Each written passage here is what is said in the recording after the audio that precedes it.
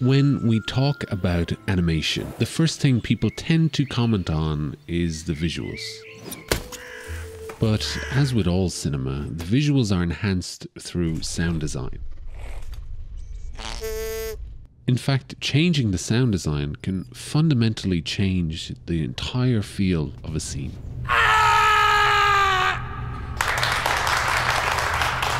So today I want to briefly look at sound design.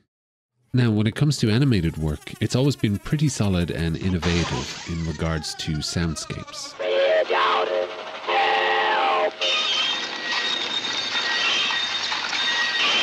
But in today's world, there's one show that really stands apart, as it's totally reliant on visuals and sound design. Another masterpiece from Genndy Tartakovsky. Everything I want to do, I want to do different that sounds different from the last project, from art, storytelling, everything. You know, in researching Primal, it's so clear that they had a guiding principle from the very start that set the tone for the project. And that was the title you know, like everything else with this show, you want it to be raw and, and primal.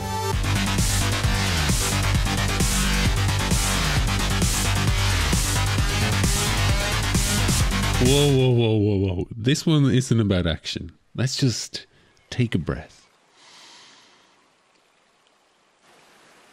So let's just talk about sound design for a second.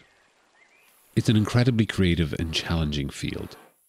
It combines a huge array of people from location audio, boom operators, foley artists, sound engineers, and even branches into the score at times. You know, you may not notice, but usually about 90% of sound you hear while watching a feature or TV series has been added later. Animation is no different. The audio has to be created from scratch to support a world that you're in. Now, some worlds have established sounds, things we would expect to hear paired with a location or even an action, like this old classic. Hey, this thing on? Hello, hello, testing, testing. And anyone who works in audio can tell you that's just not how microphones work. But we as an audience expect it now because we've been shown so often. Now, how do you create a sound for something that just doesn't exist? Well, very often that's grounded in the real world.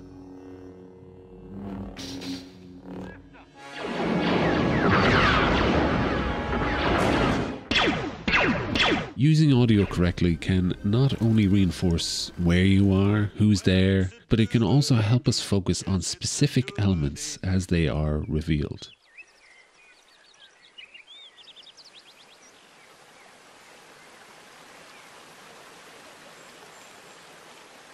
You know, sound can usually motivate the pace of a scene, and more than that, it really reinforces the subconscious connection that we share to what we're seeing. Genndy has always been very successful in how he uses sound, especially when he chooses to let a scene breathe. In fact, the inspiration for Primal came out of these moments and people kept saying, "Oh, I love the sequences where there was no dialogue, right? And then it kind of hit me like, "Wow, could I do an actual half-hour show with made up of just those sequences?" Right? And then, well, what kind of story can facilitate that so it feels natural, it doesn't feel forced, right? And all of a sudden, I remembered, oh yeah, I had that uh, that little caveman boy and dinosaur idea, and uh, well, let me see if I could do it. And so I started just to do a one storyboard pilot, basically, to see if I could do an episode, right? You could talk about anyone when you look at sound design, but really, I feel like Genndy is so unique. So let's have a look at his process, starting with the storyboards. Oh, he's got a tooth dagger. Another painful scream. This one watches, all the kids watch too from that scream it's jostling around trying to get rid of him, trying to get rid of him. Did you notice something? And then he spins around, brings up into camera. It, it he antics back, and then. He's acting out all the action through sound effects. My job is to take the story and communicate it the way we intend it to be. Anything that I do, usually, I um, I, I hear it in my head because it's such a big part of storytelling and so I'll hear maybe a rhythm. Obviously, I don't. I'm not musical, so I don't hear the specific themes or whatever. But I do hear the structure of it, the pacing. That's very important. Like when I board it, you know, I'm either going dun dun dun dun dun dun dun dun, dun right, or whatever, you know, and it, it kind of it kind of drives it, and it gives me a really good basis. And so my pitches are two time. They're at 22 minutes, and so when you watch the pitch, you could really get a sense of the show, you know. And uh, some stuff I have to explain, obviously, but a lot of it I try to do with sound effects. And that's when Genndy starts from frame one, just as any of us would when we're kids. And it's like, and he'll take you through the sound and the music. And while it could sound pretentious with me describing how this goes, even though he's going,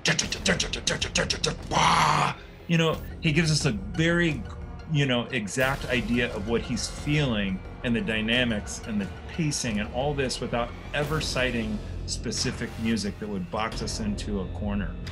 And that's what's really wonderful. It may take us a few swings to find what the it actually is, but we're still always working from that original conversation, which is something that is very rare in filmmaking and storytelling and in and you know commissioned art these days. Here's the thing. Storyboards are the backbone of animation, and as an audience, sound can dictate more of our understanding of a location or action than just what we're seeing. Knowing what sound effects to use, how loud and how long they should be, will vastly change what you create. And having that idea early really helps to solidify and construct your vision.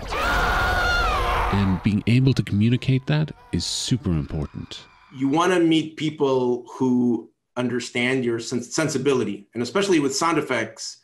Like when I go whoop, like you know, or or anything, Joel knows what I'm talking about, so I don't have to eh, spend all this time explaining what specific Hanna Barbera sound effect or something that I mean to. We have the same language, and it makes just with music, just with design, just with color, just with writing you want to surround yourself with people who understand your sensibility and it made my life uh, so much so much easier now when you consider a story like primal has no verbal dialogue once you strip away the radio play what you're left with is a strong visual story.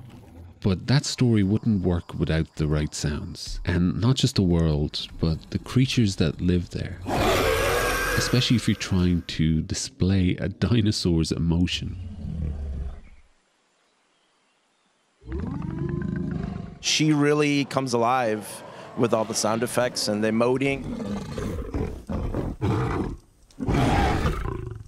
Your ability to vocalize sounds is amazing because Genndy will, like Tyler was expressing with music, uh, Genndy does the same with me, and he'll vocalize monster sounds and little sounds, and it actually just you immediately know that what he wants uh, from you. So 99% of the time, he's okay with pretty much everything I deliver. It's that 1% that I end up pulling my hair out, trying to just, you know, like with, uh, I think it was uh, Night Feeder. You locked on to a sound, and I only had one example of that sound. And it was like two days later, I finally figured out that dragging a uh, piece of styrofoam on a large piece of wet glass was the sound that ended up being the night feeder screaming. No, it's always a challenge, but it's, it's a rewarding challenge. I try to give myself that selfishly that situation where everywhere I go, I'm fans of the people that I work with, and I can't wait to see what they do. As I've talked about in my previous video, Genndy has this great ability to pace his stories, going from very quiet and still to suddenly an explosion of action. And part of that comes from reacting to what we see daily. And take your time. You watch the speed of everything now is so fast and it's so in your face that this is complete opposite of that. These moments of quiet calm help a few things. They help us set the scene, understand where we are and what we should be feeling. But they also break up the visceral action, so when it does hit, it hits harder. It created a different experience Mhm. You know, and for me, like I've always wanted to do things that you create a feel, a tone that's unique to what I do, and you want to have a signature, and uh, and so it felt very much uh, into what I was doing. What I like a lot from the sound design on Primal is that the audio is matched to an image a lot. And not just what's happening visually, but the emotion of the scene. Take the mammoth separated in the snowstorm. The music is faded out, and we're left with the mammoth's call to their lost herd.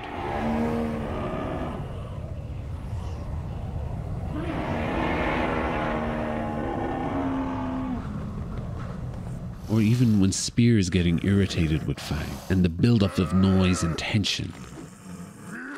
And then sudden silence.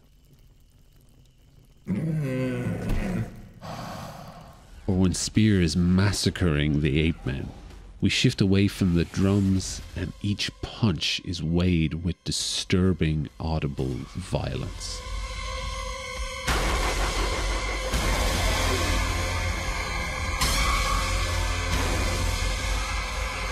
Even as it cuts between characters, we're taken closer in by the simple change of something as simple of how rain sounds pattering off their skin.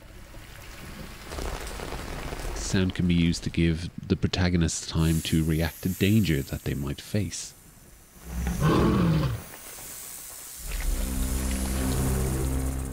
And all these sounds are based in some level of reality that we can pull from our own lives. When you use sounds gathered in the outside world, the real world, and you bring them into a science fiction film, you get the credibility of those sounds to sell to the audience the reality of what's really just a very uh, fantastic world.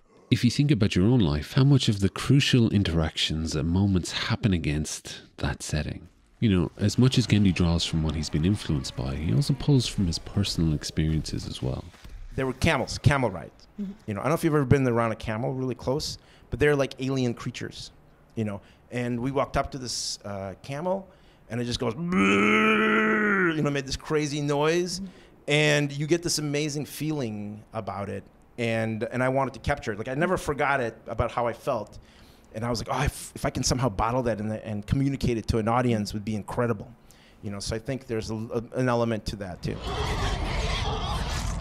Primal takes the basis of sound design to a whole new level and effectively allows the sound to be a huge engaging factor as part of the story. Once we filled it in with sound effects and with music and him yelling and grunting a little bit, um, you don't miss it at all. And so it's been really positive. And what's the big thing that's been a surprise is how engaging it is without dialogue. Because Yeah. if you watch a normal TV show, you could like text and stuff, and you it's a radio show for the most part, and you can listen to it and still follow along.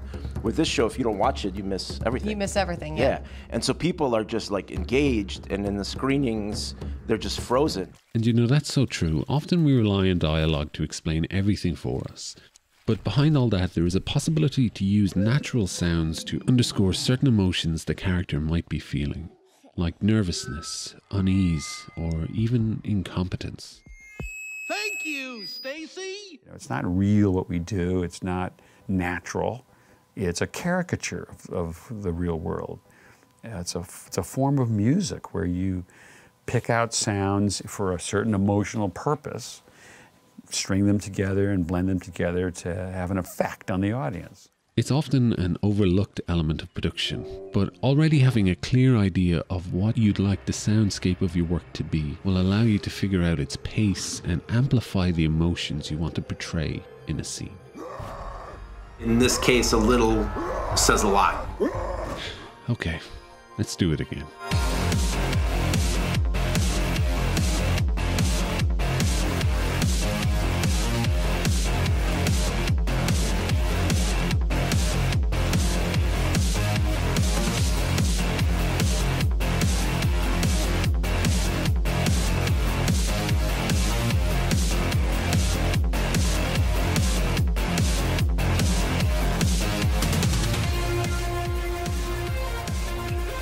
Everyone, I just want to say thank you so much for watching again. If you haven't seen Primal, which I'm sure you have if you're watching this, do check it out. It is an experience unlike anything else.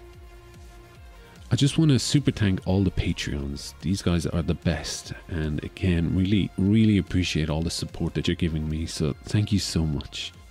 And I also want to thank everyone in the Discord. You guys are the best, or anyone else who's ever reached out through messages or anything to get in touch. It's really gratifying and super interesting to get to know every one of you.